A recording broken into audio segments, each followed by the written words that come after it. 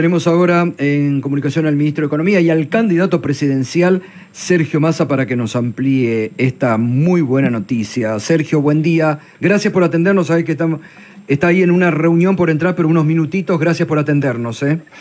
Sí, eh, muy buenos días. La verdad es una enorme noticia para el fortalecimiento de las reservas argentinas, para de alguna manera acelerar todo lo que es el pago de importaciones pymes y también para tener capacidad de intervención en mercado.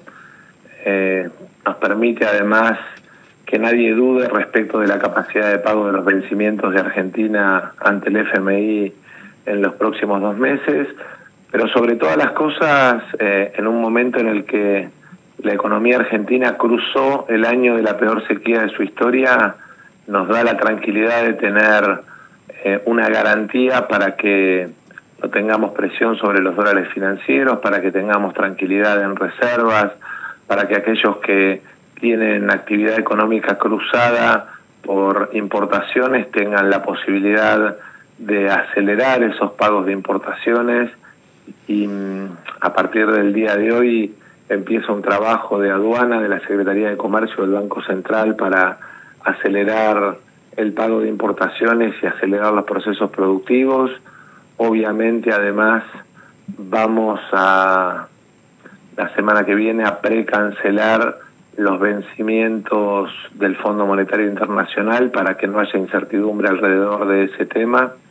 Eh, y de alguna manera también vamos a tener una mayor capacidad de intervención del Banco Central en el mercado frente a aquellos que por ahí en estos meses especularon contra eh, el Banco Central o contra las reservas argentinas.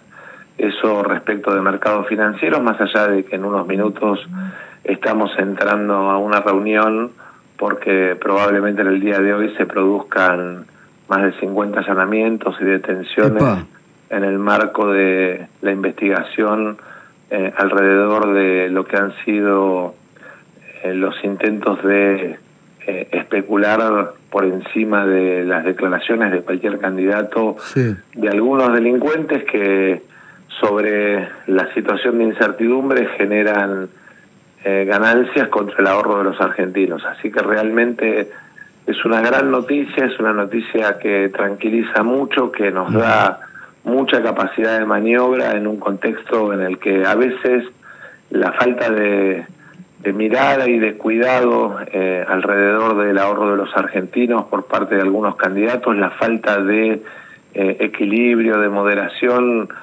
pone en jaque sobre todo el ahorro de la gente. ¿no? Esto de alguna manera funciona como mm. garantía respecto del ahorro de la gente, así que eso para quien está en su casa escuchándonos o está en su trabajo escuchándonos, eh, poder transmitirle que esta noticia, además de fortalecer la capacidad de intervención del Banco Central, de fortalecer la posición argentina en materia de disponibilidad de reservas, eh, nos da también la posibilidad de brindarles tranquilidad a todos ellos. Sí, es fundamental. Fundamental, Sergio, además, usted lo marcó muy bien anoche y le, le saco algunos minutitos si puede usted me avisa cuando tiene que entrar a esa reunión importante, que además no se ha quedado, esto es lo que yo siempre valoro, no me importa cuando uno tiene que decir las cosas y destacar de usted, no se queda en anuncio.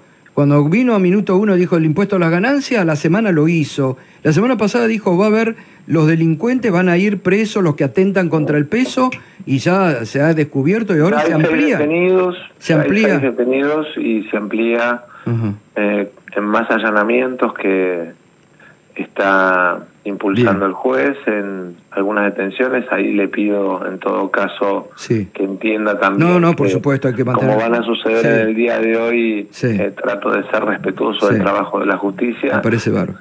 Pero, sí me parece Pero esto demuestra la acción, esto demuestra acción. No, no, no hay que quedarse en palabras, sino se actúa y, se, y es una demostración de lo que, lo que se puede hacer desde el Estado. Es muy importante esto.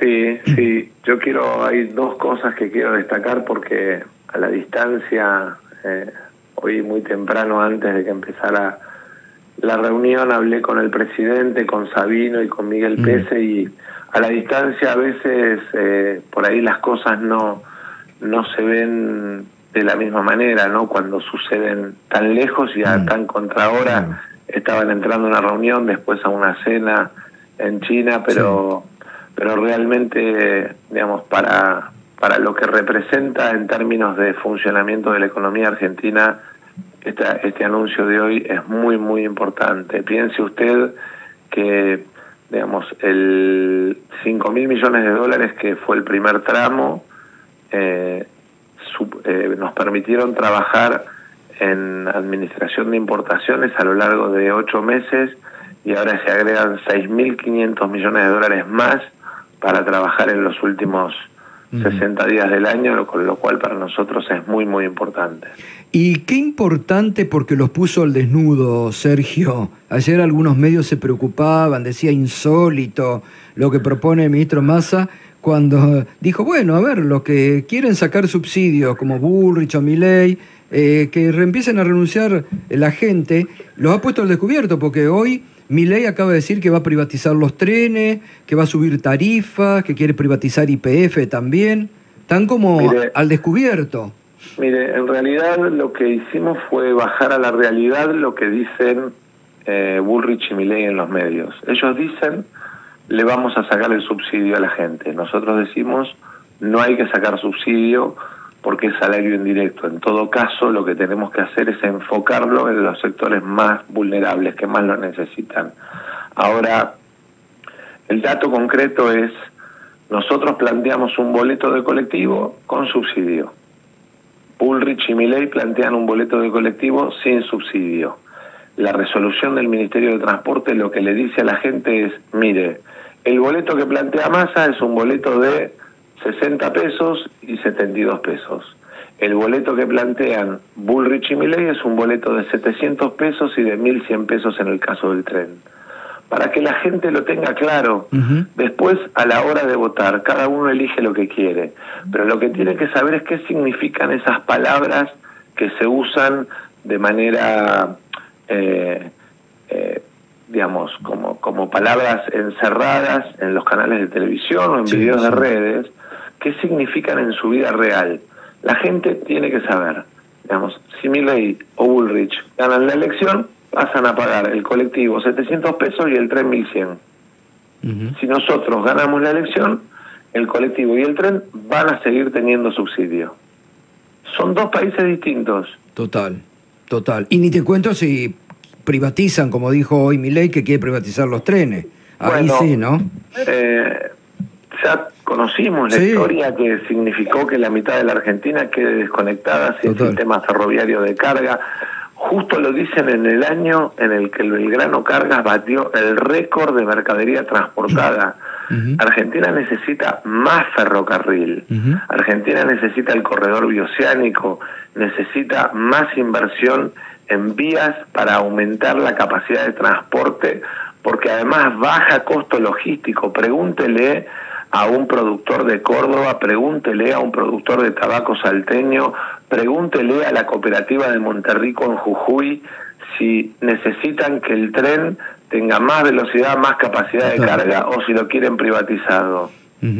Sí, no, total, total. Sergio, le agradezco, eh, sé que tiene esta reunión importantísima, gracias por estos minutos que han sido muy importantes porque es una gran noticia lo del swap y esto que ustedes acaban de confirmar. Y sobre todo, y sobre todo para aquellos que especularon, ¿no? contra contra el agotamiento de reservas, diciendo se van a acabar los dólares, van a tocar los dólares de la gente. Bueno, ahí tienen la respuesta. La respuesta es que, digamos, eh, Argentina además accede a un financiamiento que es casi la mitad de la tasa del FMI. Importantísimo. Casi la mitad de la tasa del FMI. Es 10 veces menos la tasa del bono a 100 años de Macri. Claro. Muy, muy, muy favorable. Y en un minuto, por favor, eh, discúlpeme, pero en un minuto, porque anoche usted lo explicó muy bien, cuando dijo cuando quieren terminar las relaciones con China o con Brasil, que le expliquen lo que esto significa. Coméntenlo en un minuto. Para la industria frigorífica, por ejemplo, es perder el 70% de sus mercados. O sea, quienes trabajan hoy en un frigorífico y exportan a China tienen que saber que van a tener ese mercado cerrado y se van a quedar sin trabajo. Los trabajadores de todo el complejo viaginoso eh, del puerto de Rosario, los productores de Rosario, Santa Fe, eh, de Córdoba, que exportan todo lo que es soja, harina de soja, aceite de soja, tienen que saber que el cierre de la relación con China supone que todos ellos se quedan sin trabajo.